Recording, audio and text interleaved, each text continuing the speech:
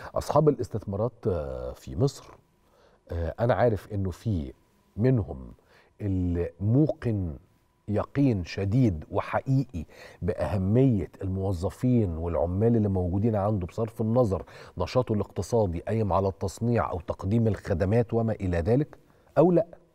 المسألة كلها عمليا أنت بتحمي استثمارك ده واحد. اتنين أرجو إن الناس تحاول تفهمني وتتحملني كويس أنا هنا بتكلم على رجال الأعمال. انت ياما كسبت بسبب الناس دي. الناس اللي بتشتغل في شركاتك في مصانعك ايا كان. ياما كسبت. وأظن أظن أظن إنه دعمك ليهم هو مش بس دعم ليك لكن كمان هو حفاظ على استثمارك. اتنين تلاتة. هو الدولة بالفعل بالنسبة للمصنعين شايلة عبء كبير. دفع الضريبة العقارية لأنه مفيش إعفاء. هو الدولة هي اللي هتدفع الضريبة العقارية بتاعت المصنعين لمدة ثلاث سنين. وبالتالي حجم التكلفة بتاعك هيقل. اللي انت كنت ناوي تدفعه في دراسات الجدوى بتاعتك دي وحطه في الورقة عندك هيقل اللي هي الضريبة العقارية. طيب اتنين بما ان حضرتك مصنع وقد تحتاج لمستلزمات إنتاج فانت هتستوردها فالدولار الجمركي 16 جنيه فيهوش زيادة. اذا قدرتك على الإنتاج تقريبا هي هي ده لو ما كانتش أحسن. يعني لو عاوز الكلام اللي جد هو قدرتك على الإنتاج أحسن. لأن الدولار الجمركي كده عمليا سعره قل. ده واحد. اتنين اتشال من على كاهلك الضريبة العقارية على المصانع بتاعه سيادتك.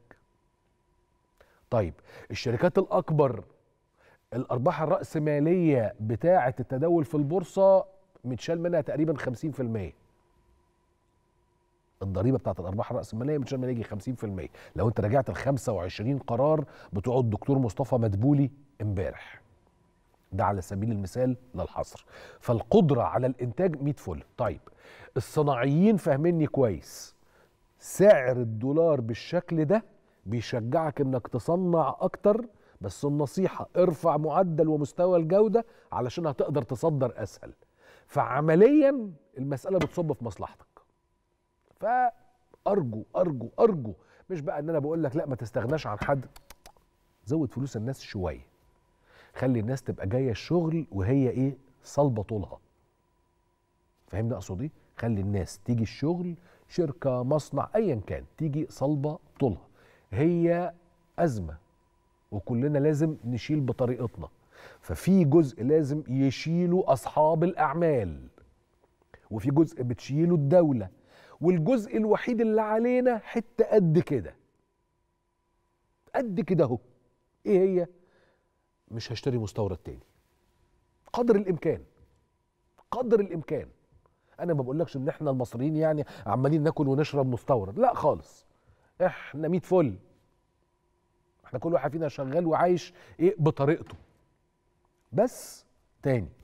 غني متوسط الطبقة المتوسطة العليا وأنت طالع قل المستورد قدر الإمكان.